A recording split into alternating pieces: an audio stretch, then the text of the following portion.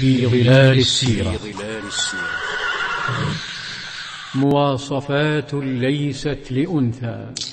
تخرج أم جميل تلعن وتشتم وتتلفت في الطرقات وتسأل.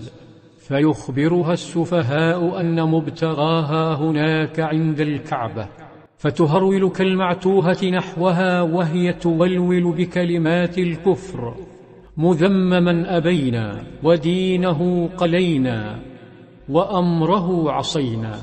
ترددها كالبلهاء وعندما تصل تشد يدها على الحجر فلا ترى إلا أبا بكر.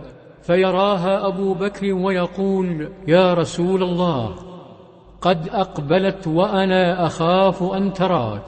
فقرأ النبي قوله تعالى وإذا قرأت القرآن جعلنا بينك وبين الذين لا يؤمنون بالآخرة حجابا مستورا. وتقترب وتتلفت كالأفعى ولها فحيح. تحدق تبحث ثم تصيح بأبي بكر وتستجوبه. ورذاذ الحقد يتطاير من فمها. يا ابن أبي قحافة إني أخبرت أن صاحبك هجاني ما شأنه ينشد في الشعر؟ فقال أبو بكر لا ورب هذا البيت ما هجاك والله ما صاحبي بشاعر وما يدري ما الشعر. فقالت أليس قد قال في جيدها حبل من مسد فما يدريه ما في جيدي؟ فهمس النبي عليه السلام لأبي بكر قل لها ترين عندي أحدا؟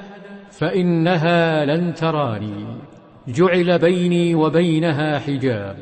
فسألها أبو بكر فقالت أتهزأ بي يا ابن أبي قحافة؟ والله ما أرى عندك أحدا. ثم ولت وهي تقول قد علمت قريش أني ابنة سيدها.